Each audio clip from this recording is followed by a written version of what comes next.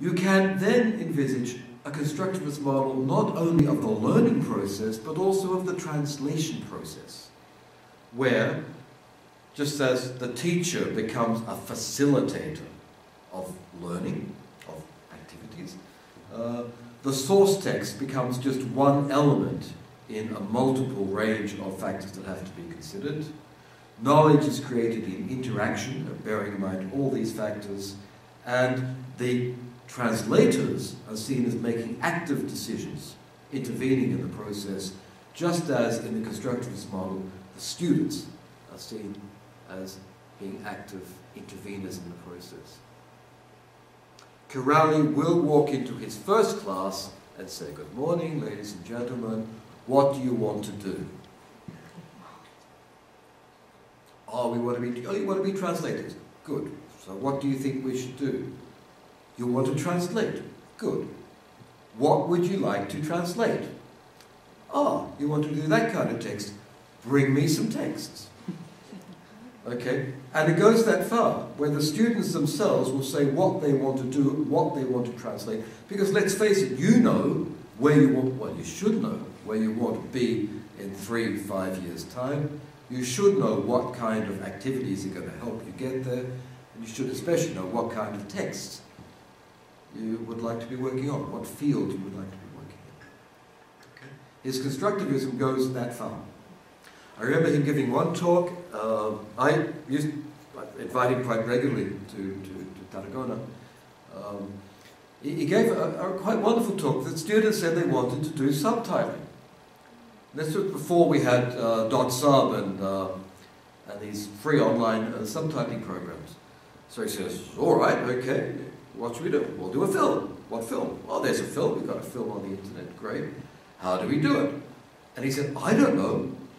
No, this is the instructor. Very hard thing to say in Germany if you're an instructor, getting paid to be an instructor. I don't know. And uh, the students went off and contacted a company, a subtitling company, asked how they did it, asked if they could do a film uh, as a training thing for the training exercise, offered the result to the company for free. If they would get the software, they got the software, they learned the software, they discovered the rules of subtitling, they discovered how to use it, and did the project collectively. Okay? With the instructor looking on and learning with the students.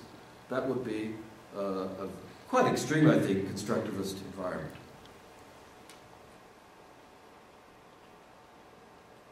So Kiraly, interestingly, suggests that the way we think about translation is similar to the way we think about learning. My question is, has any research been done on this? If teaching is in itself a mode of research, which it might be, then a lot has been done because we're all teaching all the time. And Kiraly's research and his book these articles are often based on the experience, what happened in class, what I discovered that works really well. The trouble is that most of the research I read on training or education is of this kind. I used to be a transmissionist. Then I read Kiraly's book and I was enlightened. I picked up all the methods he proposed and used it in class and the students' feedback was really great. Hallelujah. End of research. And there are lots and lots of articles like that. And I think it's good people explaining what happened, and they're explaining the good things that happened. They never explain the bad things.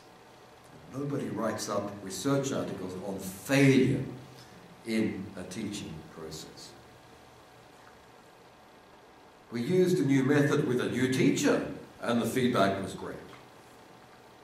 We did awareness raising activities, and the students became very aware. Oh, feedback was great. We use the new methods, and the students feel they are ready to enter the labour market. Feedback is great.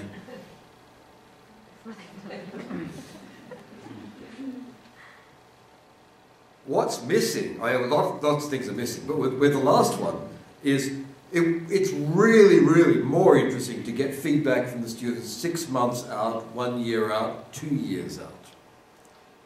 And instead of asking, do you like me? Do you like my class? Uh, help me with my research project by writing a good evaluation. Um, get people who have actually entered the market.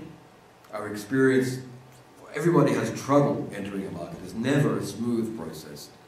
And asking them, did your training or education help you? Did it give you the things you need? What didn't we give you that you now find you need? Okay? I'm, I'm missing a lot of good survey data of that kind, which should be more critical. There is a, an overabundance of uh, teachers who use research as a kind of self-praise activity. I'm really not reducing too extremely uh, in these examples.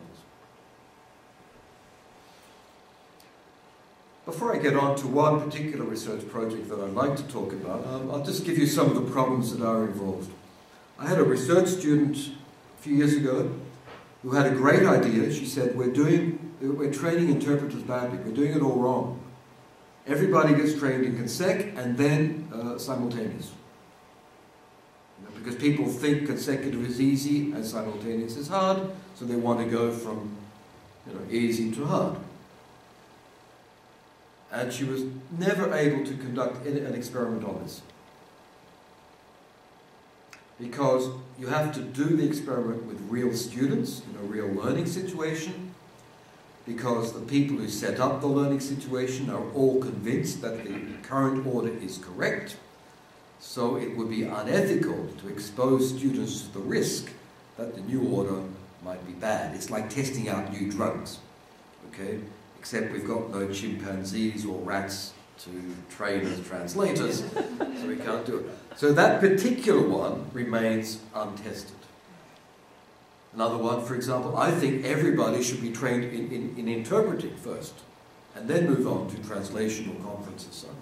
I think that, that people learn about mediated communication through interpreting, through oral activity, that everybody should get that but the powers that set up our training programs say that's sort of unethical because they're so convinced that the current situation, the current structure, is the correct one. Another problem is a huge one of quality.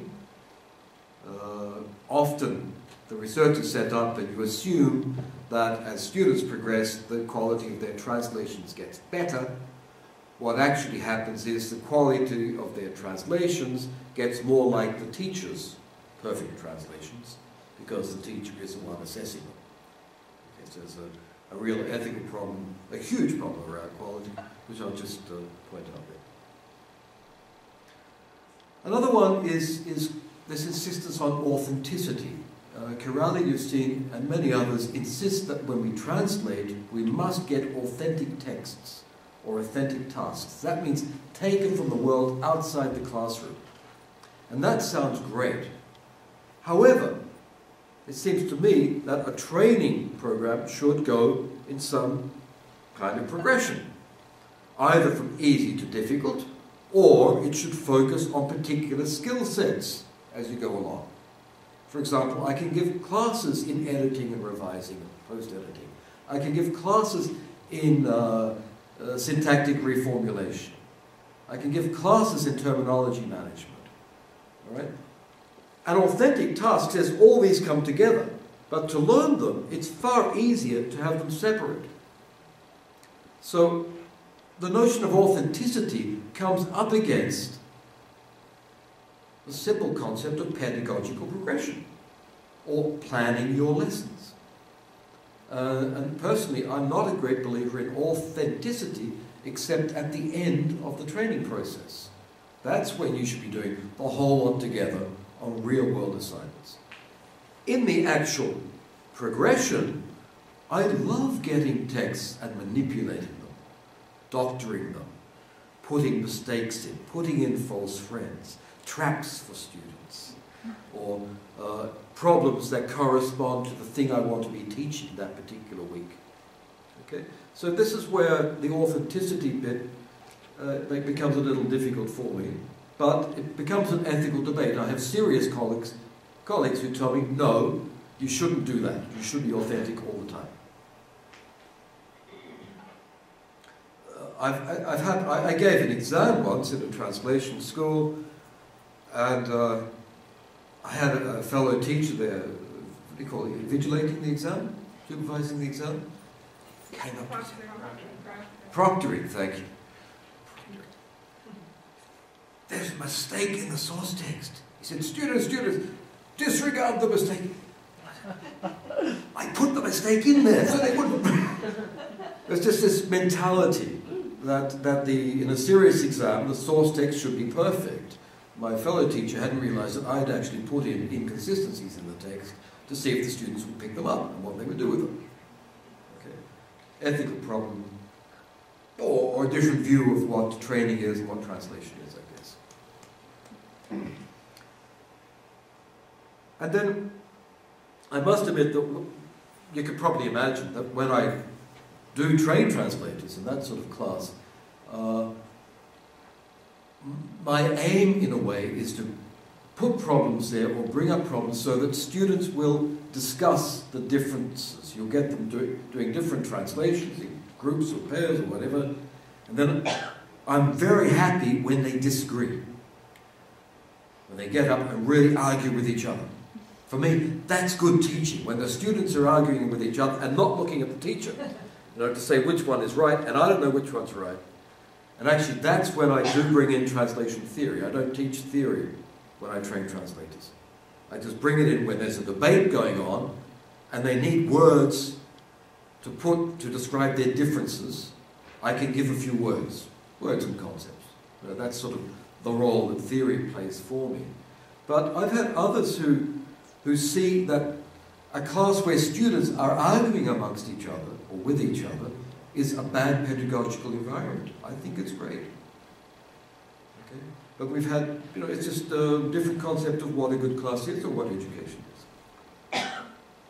This is a research project where we said, okay, let's see if we can find out what skills we are teaching, what skills we should be teaching.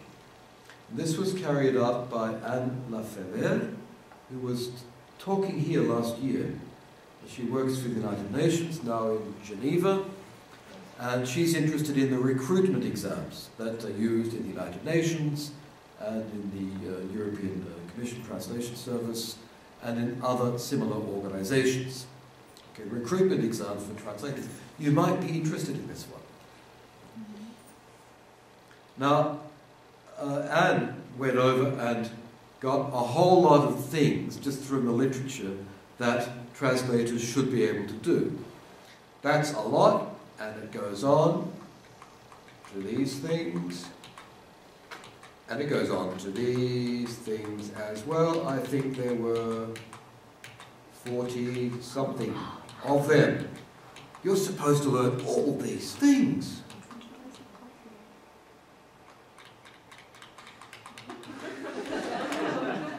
whole lot. yes, okay. Right down to detecting mathematical errors and uh, working with Excel, PowerPoint, we have translation memories. Things. Okay. The idea was, rather than see what people actually learn in class, because all the classes are different, let's check how well our training fails.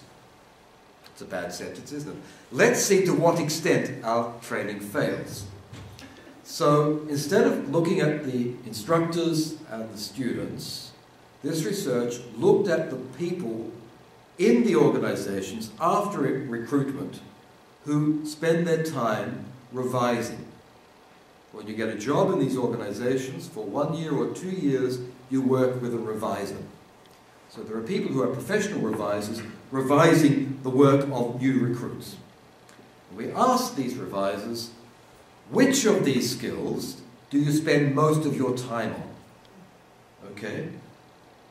Which of the ones are most frequent? Okay, so from that long list of 40 or so, we're going to get the ones that the revisers tell us students are not being trained in. Sneaky. except they're not very interesting. Well, produce translations that flow smoothly. Ability to be invisible. Uh-huh. Work out the meaning of obscure passages. Yes, often the new recruits will opt for literalism rather than work on things they don't really know, but that's sort of to be expected. Write elegantly, regardless. This means even when the source text is inelegant, your translation must be elegant.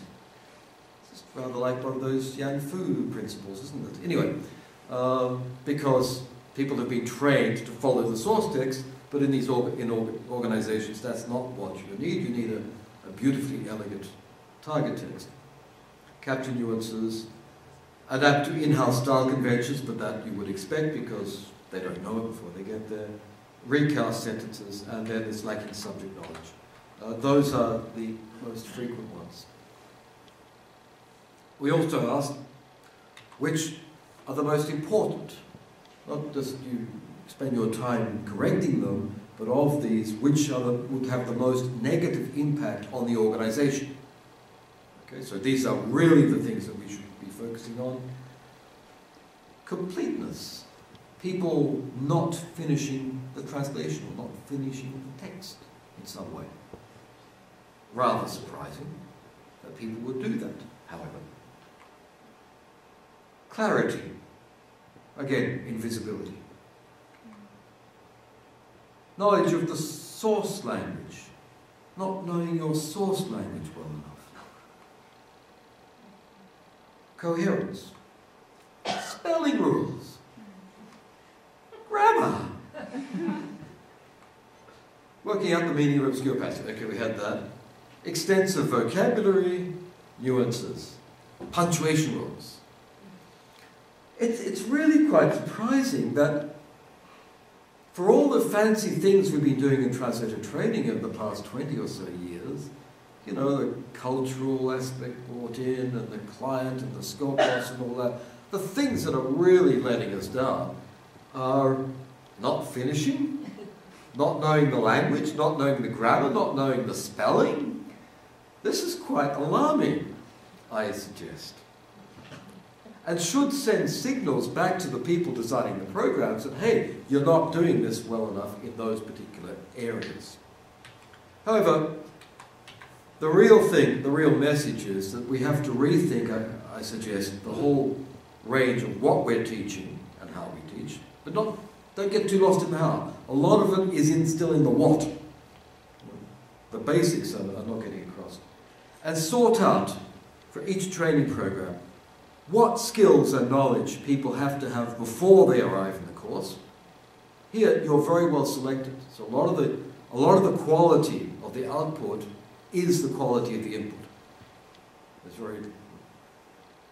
Then sort out what you should get in this particular training process, which is finite in time, and then remember that a lot of those skills a lot of the things mentioned there happen after the training. That when you get into a job, your training doesn't stop, your learning doesn't stop. Things like style books. I'm not going to teach you the United Nations style sheet. I should teach you how to use style sheets and to realize that there are different ones out there. Once you get into that particular place, you have to learn to write according to the United Nations style book. Same, same thing with translation memories or machine translation we can't give you fixed things. That's going to happen once you're in place in the job. So I think that working from uh, uh, Lafeber's findings, rather than be shocked at all the things we're not doing, we should go back and take a good look at what skills you have before you start training, what skills you'll acquire after you start training, and then focus on a very reduced set of skills for each particular training program. That's an example of what I would call a quite useful and challenging piece of empirical research.